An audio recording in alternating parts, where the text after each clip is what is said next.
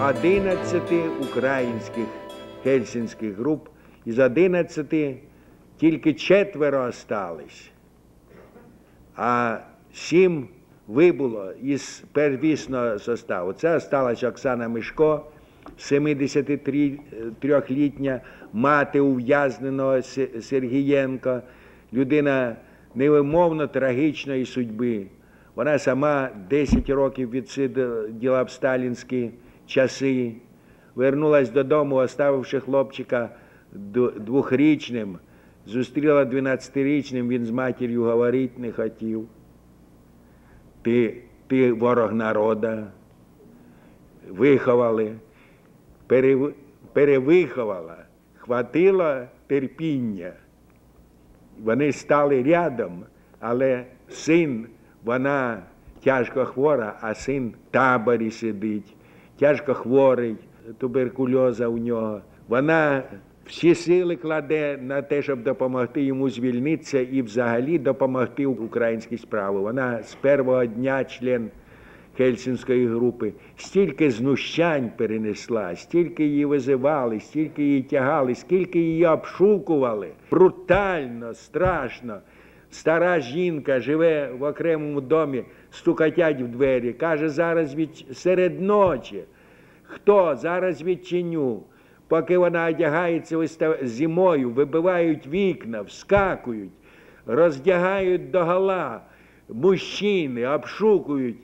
Е, Це, що вона пережила, то, то трудно сказати. А більше всього, що пережила за сина, за якого кожний день боїться. Вона пише в листі Брежнєву, не можна читати, не можна не плакати, читаючи. Як вона принесла мені показати, що вона пише, пише, то я просто сидів і плакав. Вона пише, що коли мене реабілітували, її звільнили по кінцю срока, 10 років вона отсиділа, по кінцю срока її звільнили, а вже в 56-му реабілітували.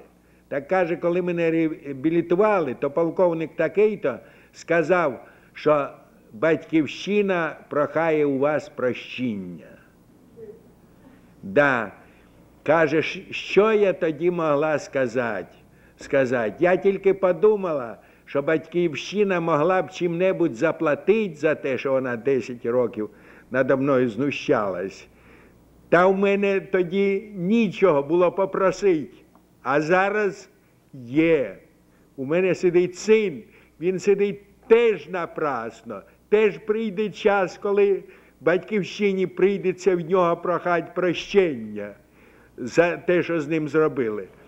Так зарахуйте мої 10 років синові і випустіть його, бо я ж можу його не, діждатись. Так на такий крик людсько, людської душі навіть відповіді ніякої не було. Ото земляк так до землячки віднісся. Хочу вам сказати, що не дивлячись на ті тяжкі картини, які я вам рисував, у мене настрій оптимістичний. Я чую, вірю що прийде розплата за це все. Вірю в те, що батьківщина наша буде вільна, що той уряд антилюдський буде звалений.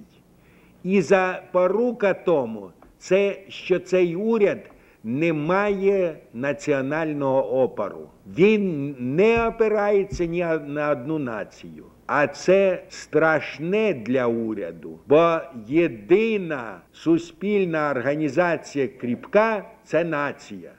Більше нема. Кляси це не є тверда організація. Організація. То на те не зіприся. Спертись можна на націю. Якби були прави ті українці, що думають, що це продовження Російської імперії, то наша б справа була дуже погана. Бо якщо нам уявити собі, що росіяни будуть захищати ту владу, то що ми з нею зробимо? доти, доки у неї в руках армія, доки в неї в руках КГБ, доки в неї в руках суди, табори і так далі, що ми з нею зробимо? Чим? У нас нема ні армії, у нас нема нічого, крім слова. Але біда тієї влади в тому, що вона ні на кого не спирається. І що якби Захід перестав її підтримувати, а він її фактично підтримує, якби став, перестав підтримувати, вона б невдовго вдержалась. А коли та влада буде повалена, справа батьківщини, справа свободи батьківщини буде в твердих руках нашого народу. В 1900, ми маємо приклад, в 1917 році лютнева революція звалила царат. І зразу ж на Україні утворилась Центральна Рада. Ви це знаєте не менше мене. Але для того, щоб вона утворилась, нужно було звалити царат. І зараз треба звалити Центральну Раду, а вже люди, які можуть перебрати владу по-настоящему на Україні їх там більше, чим більше того, що потрібно, або дос- досить для, до- досить для того, щоб ту владу зорганізувати. Я думаю, що свою владу народ захистити зуміє після того. Може бути після того все, але перше, що потрібно зробити, це треба діяти проти цієї влади. І через те я звертаюсь до української громади скрізь, де я буваю, щільніше з'єднайтесь самі на єдиній меті. Я не прошу вас зливатись в одну організацію. Бог з ним, як вони склались ті організації, хай будуть. Будуть, то не моя справа. Але я прошу вас, з'єднайтесь на одній меті. Не ради організації дійте.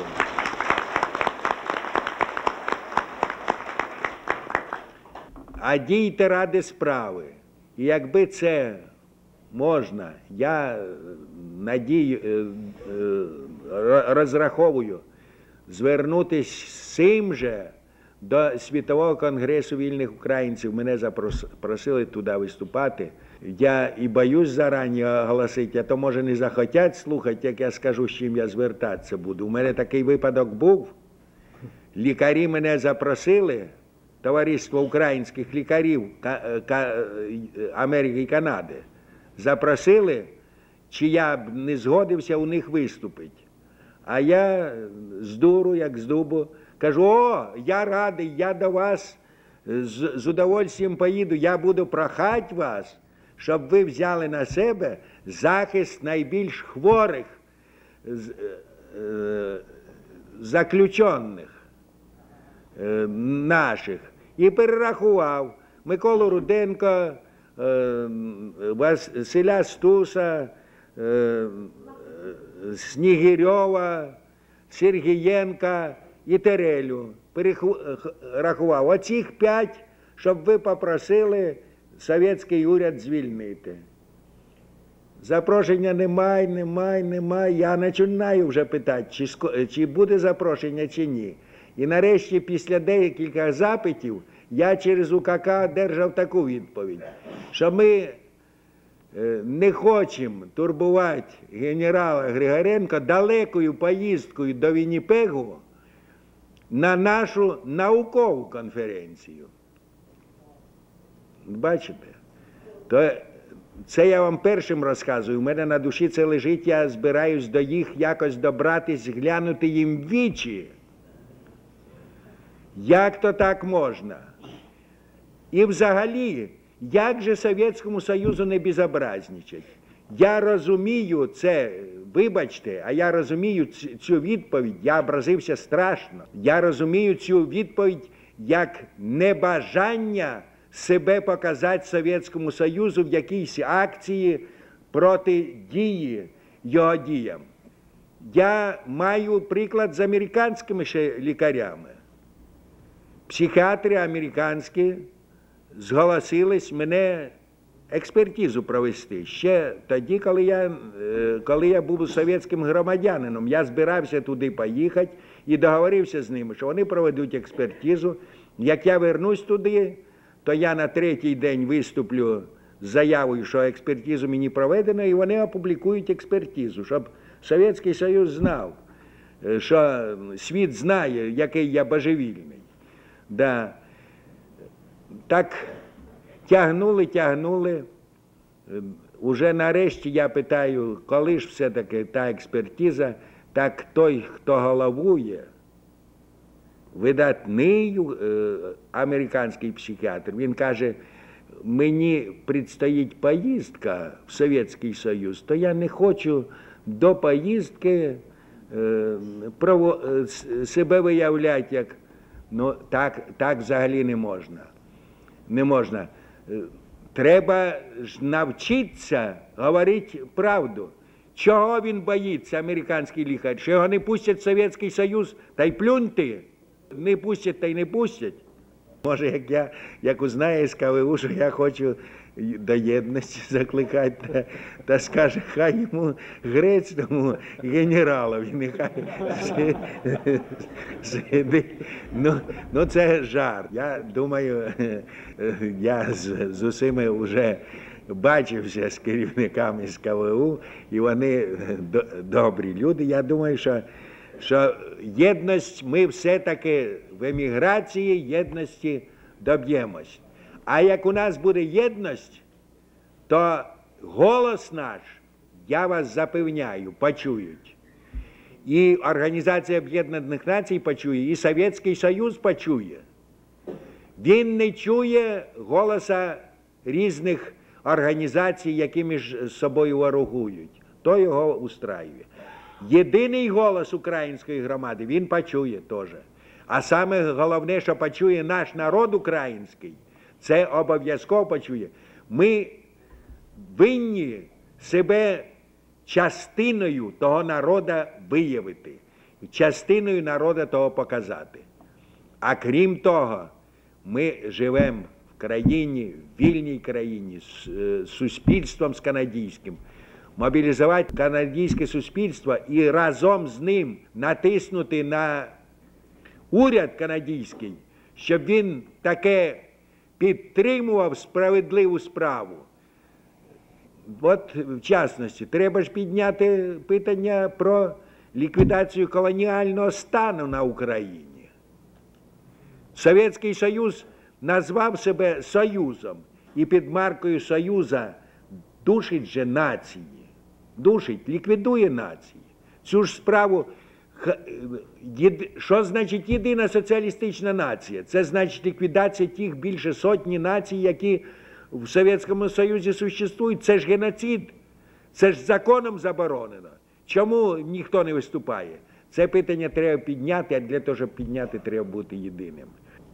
Ну і останнє коротке зауваження це моє особисте. Українська хельсінська група е, прислала прохання мені е, сумісно з Леонідом Плющом репрезентувати її перед Організацією Об'єднаних Націй і перед урядами 35 країн, які підписали Хельсінську угоду. Вони можуть тільки один екземпляр, я і то з трудом вислати, а далі треба це розповсюджувати. Треба світ мобілізувати на користь. Так от я теж думаю звернутися. Правда, тут е, мені навіть невдобно говорити, не так можуть мене поняти. У вас збірки грошові так багато організовані, що якщо я включусь з нею, так, так е, можна загубитися. А мені хотілося б, щоб не зрозуміли це як збірку.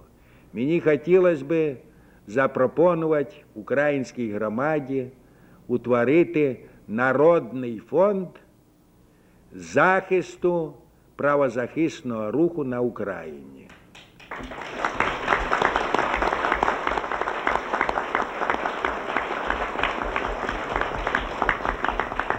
Я думаю, що е, причому мені хотілося б, щоб це не була сугубо матеріальна акція, а щоб це був вияв того, скільки людей підтримують ту роботу, яку веде українська хельсінська група. Щоб почула і та Оксана, і той Бердник, і та Ніна Строката, і ті всі нові, бо українська група зараз поповнилася, осталось четверо, але четверо нових вже є. Віталій Калініченко, Стрільців і, і двоє Січків, батько і син, Петро і Василь Січки. Це ці останні троє всі з Івано-Франківська. А Калініченко з Харкова. З Харкова.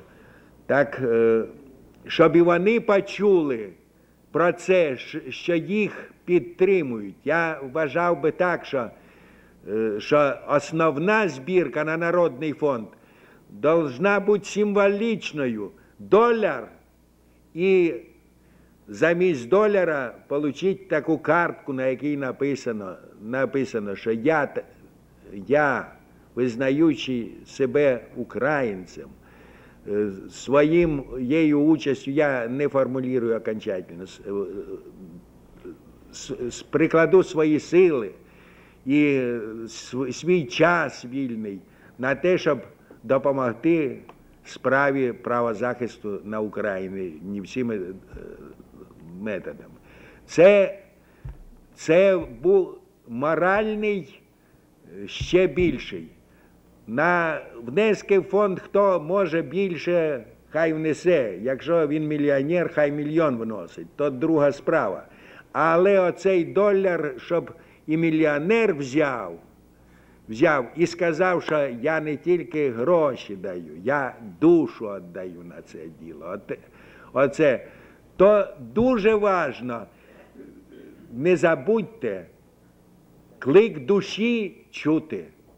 І ще як чути. І він діє. Навіть уряд совєтський, совєтський здається, щоб йому розправитися з цим рухом, а не може. Не може. Бо то є опір душ людських.